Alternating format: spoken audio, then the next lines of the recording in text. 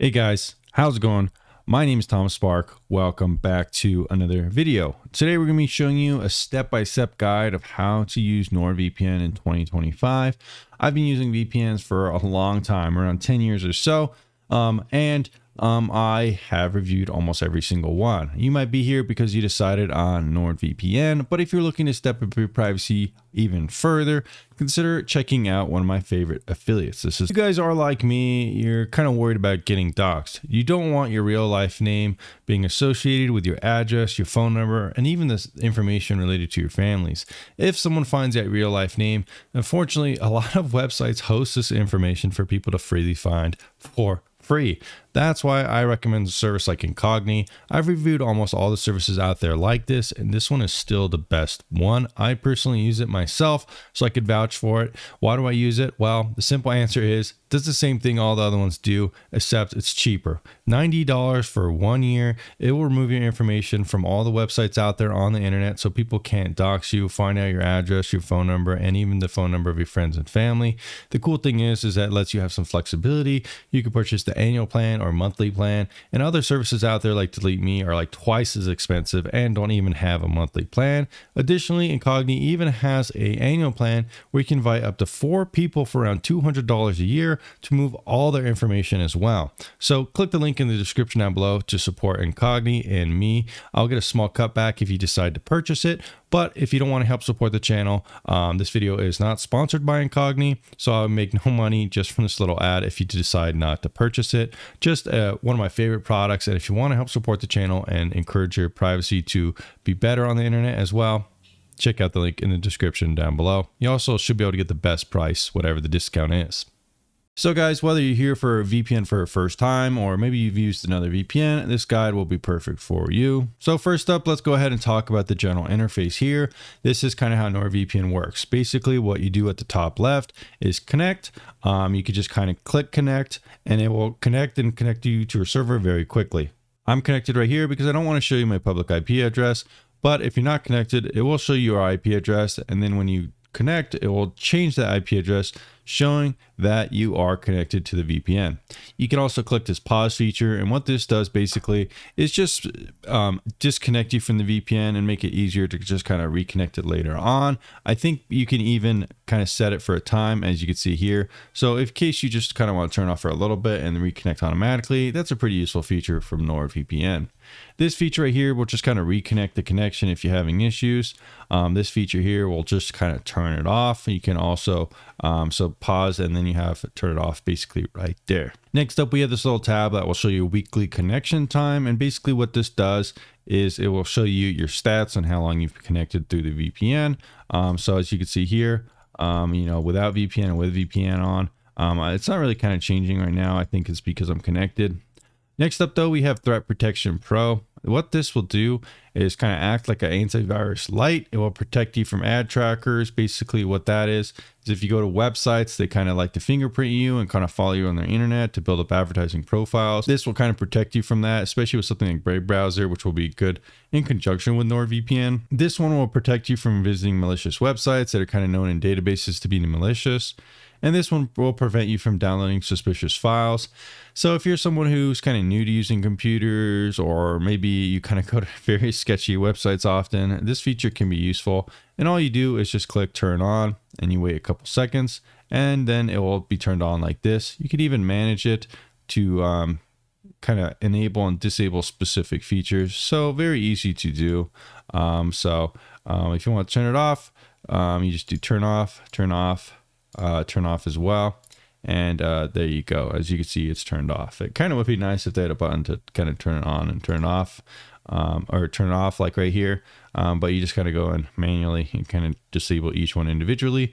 Not a huge issue, but maybe one day they'll kind of make a little more, one, one more button right here would be kind of be nice. So let's go ahead and turn that off again, um, like this. And, but you know, you probably do want to turn that on. There's not really any harm in that. Now, MeshNet is a feature that is a little bit more complicated. Um, this one is kind of like a local area network, or if you don't understand what that means, basically think of it like your home kind of internet um, and how you connect it on your computer and stuff like that. Basically what this does is if you turn this on and you install Nord on your phone, you could transfer files back and forth from your computer to your phone very quickly through a WireGuard tunnel. You can send files of any size securely and receive files in original quantity, uh, quality and quantity. So you don't have to connect your phone to your computer with a cable. This can also be used if you want to send your friend access to your network, if you want to do LAN gaming, if you want to send access to your media server and stuff like that. I've made one video doing a full run through of MeshNet. So if you're looking for a full explanation, um, it's around 10 to 15 minutes showing you every kind of way to use that. Check out that video in more detail. Not really any other VPN has this, and it is one of my favorite value propositions for NordVPN since they do include this for free and it's not like a paid upcharge, which is really nice. Next up, we have this tab, and this tab is just kind of more of a server tab. Um, the home tab um, provides these little tablets, and you know this provides a specific server kind of um, um, kind of layout there. In some ways, you know, you don't even really need this tab. You don't really need to worry about it unless you kind of like moving around the map or something like that to click an area. But for the most part, what I do um, is just search the country. So you could do something like this. And then if you click here, you can see individual servers. So that's how you do that. Um, pretty easy to use, or you can just use auto fastest server, but if you're in one of these states that's blocking porn or something like that, you could pick a specific um, area and you'll get the IP in that area to bypass restrictions. So that's kind of how you pick servers and stuff like that. Generally, the quick connect feature will be fine for you. It will find you a very fast server. Um, but more specifically, if you look for a server close by, that will also be a pretty good way to get the optimal speeds from NordVPN. This tab is just the threat protection. As we saw here, it kind of just takes you from here. So in some ways, they don't even need a tab for this either. Um, but it, it is kind of interesting to kind of be able to individually go to each portion of the application. Um, this section is for MeshNet file transfers. Like I said, if you're interested in learning more about that, check out the specific video I made. I've also made videos showing you how to make your own media server, the process behind it, the steps you'll need, and if you're interested in that video, check out this one. Both of these in conjunction will let you set up your own media server and remotely access them whenever you want, um, even if you're not home. So very cool. And again, NordVPN is the only VPN that lets you do that built in the application automatically from the own proprietary um, service that they've built themselves. But a lot of cool things about the app, like file sharing, for example, I do believe are open source. So it is a cool, trustworthy method to do that. Um, here is kind of the MeshNet thing where you just turn it on. So very nice. Um, and here we have devices in MeshNet. So this is kind of the file transfer section and the devices in MeshNet. And the file transfer works very simple. Um, it'll just kind of show you where it downloaded and you can go to it pretty quickly. Um, here is Dark Web Monitor. This is kind of an, another extra feature you could pay for. Um, basically, it'll kind of monitor your email, tell you if anything's been uh, leaked or anything like that, and any services. Um, this is pretty similar to Have I Been Pwned, just another little value proposition. And there's even a little link here for NordPass. Up here is the notifications. Sometimes they'll send you little notifications for deals going on, like you can refer your friends, or there's a deal right now going on for dedicated IPs. Dedicated IPs are basically um, a assigned IP, not a random one that you'll get generated here. This can be useful for bypassing CAPTCHAs and stuff like that if that's what you're experiencing or being annoyed by. Sometimes it's nice to have a dedicated IP if you do a lot of online banking or use specific accounts on forums. If you use a different IP every time, sometimes they'll make you verify your account or something like that, depending on how strict the website is. Lastly, guys, the meat of the application is in the settings. Um, but for the most part, if you're new to VPNs, you don't even really have to worry about these too much. It just kind of lets you customize some things, some startup behaviors. So like here, you can actually make the application light mode. Oh my God, my eyes are blinded, but I prefer the dark mode or just go to system to match your system's um, UI colors. Um, so there you go. Uh, we have connection settings here. You generally want to use be using NordLynx. You can use auto if you want to. Nord Whisper is actually their new protocol, which is very useful for bypassing VPN restrictions if that's something you're experiencing. If NordVPN isn't working, check out Nord Whisper and you will probably be able to connect almost all the time. So definitely a cool little thing they added. NordVPN is also secured against quantum encryption.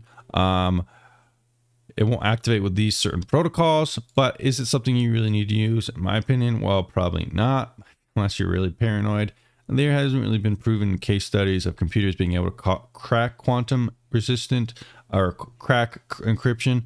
Um, so, you know, it's still 10 to 15 years off, I would say, according to researchers and stuff like that. But it's nice to see VPNs kind of jumping ahead of that to just kind of secure the users paranoia basically you can also customize when it connects based on different networks like if you're on a network or if you if you're using nord on a laptop and you go in a coffee shop you could um, connect it on wi-fi networks automatically so you're never leaking data to that coffee shop's uh, internet you can also pick trusted networks. So if you're at home at Wi-Fi, it won't connect, but if you're in a coffee shop, it might connect.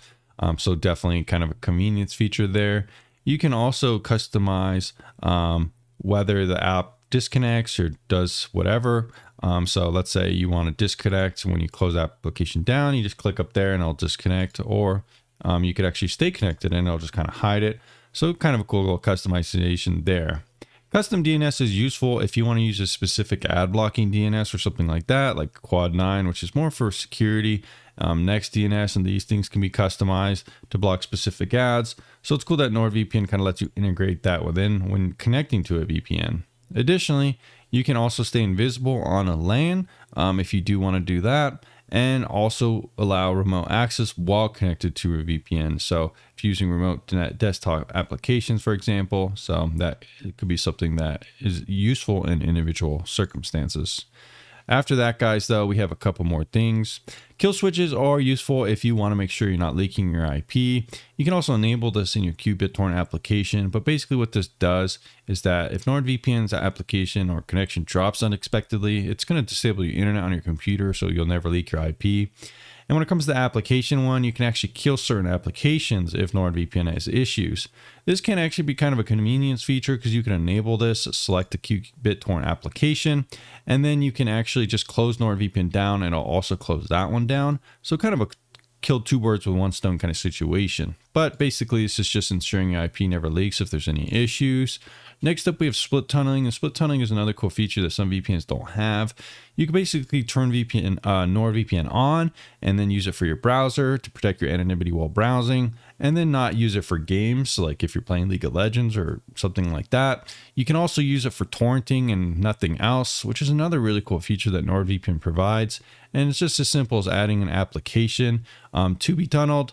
Um, you could kind of do it, you know, tunnel backwards and forwards. So if you want to use it for certain apps or disable for certain apps, it's kind of up to you. And that's really about it for NordVPN. I've covered almost every single setting.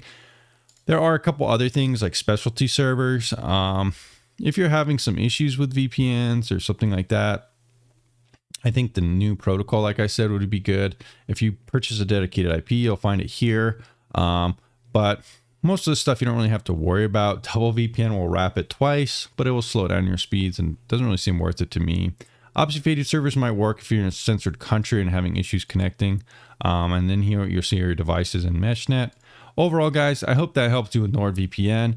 Let me know down in the comments down below if you like this tutorial. Let me know if you checked out Incogni. Um, it's a cool service and it'll help support the channel. I'm assuming since you're here, you already bought NordVPN, so I don't know if it would really be much use telling you to buy NordVPN with my links you get the best discount. But if you haven't already, links will be down in the description as well. And I'll see you in the next video very soon.